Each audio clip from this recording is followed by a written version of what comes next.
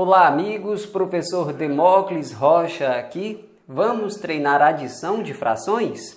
Temos aqui 3 quartos mais 4 quintos mais 9 décimos. Quanto que é? Se você apoia esta iniciativa, deixe o seu like. Se quiser ficar sabendo dos nossos próximos vídeos, inscreva-se no canal e acione o sininho das notificações. Vamos lá! Existem várias técnicas que você pode utilizar para fazer uma adição de frações. Veja só a técnica que eu vou utilizar neste vídeo. Temos aqui denominadores diferentes, 4, 5 e 10. Eu identifico claramente e facilmente que o menor múltiplo comum a 4, 5 e 10 vale 20. Como é que você sabe, professor? Veja que 20 é um múltiplo de 4, ele é 5 vezes 4. 20 é um múltiplo de 5, ele é 4 vezes 5. E 20 é um múltiplo de 10, ele é 2 vezes 10. Como eu observo isso com muita clareza e muita facilidade, eu já vou utilizar aqui a técnica que aplica o MNC, o menor múltiplo comum, aos denominadores que a gente tem aqui, tá? Então, o que a gente vai fazer? O 4, para se transformar em 20, ele é multiplicado por 5. Eu vou aqui em cima e multiplico por 5 também. 3 vezes 5 é 15. E o que isso significa? 3 quartos é uma fração equivalente a 15 vinteavos. E a gente segue com essa brincadeira.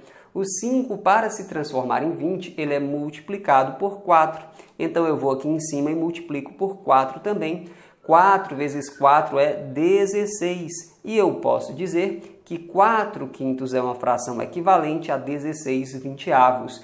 E é muito fácil, na é verdade? Veja só, o 10 para se transformar em 20, ele é multiplicado por 2. Então eu vou aqui em cima e multiplico por 2 também.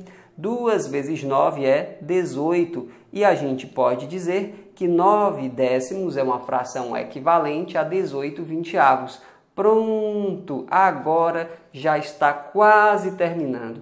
Só o que eu vou fazer é repetir esse denominador, que é 20, e vou fazer essa continha aqui, ó. 15 mais 16 é 31. 31 mais 18 é 49. Pronto! Acabou, nem doeu. Nós podemos até dizer que 3 quartos mais 4 quintos mais 9 décimos é igual a 49 vinteavos. Uma fração irredutível, isto é, não pode ser simplificada. Está na hora de dizer que este vídeo foi feito de coração para te ajudar. Se ele te ajudou e você quiser me ajudar de volta, deixe um comentário com uma carinha sorrindo, compartilhe o vídeo. Se você quiser ter uma aula particular de matemática comigo, envie mensagem para 987 26 5376. Aí a gente pode combinar o valor da aula e também o dia para a gente poder fazer o nosso agendamento. A gente fica por aqui, um abraço e até a próxima. Tchau!